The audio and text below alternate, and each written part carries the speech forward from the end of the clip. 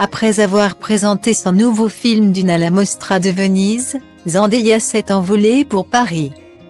Et c'est au Grand Rex qu'a eu lieu l'avant-première parisienne, avec toute l'équipe du film.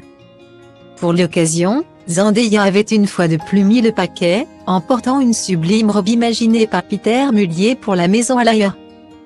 Issue de la collection Printemps-été 2022 de la maison, cette robe couleur aubergine a été spécialement choisie pour Zendaya par la Roach.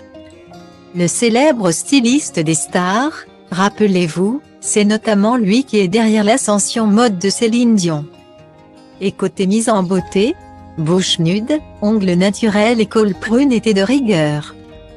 Ce qui a résolument attiré notre attention, c'est la somptueuse chevelure de l'actrice américaine, avec ses boucles bien hydratées et parfaitement définies, elle a tout bon. Les cheveux bouclés, c'est magnifique, mais il faut en prendre bien soin, et penser à les hydrater suffisamment. Sans pour autant les alourdir. Pour obtenir des boucles bien définies comme Zendaya. Voici trois produits absolument canons, à vous procurer de toute urgence.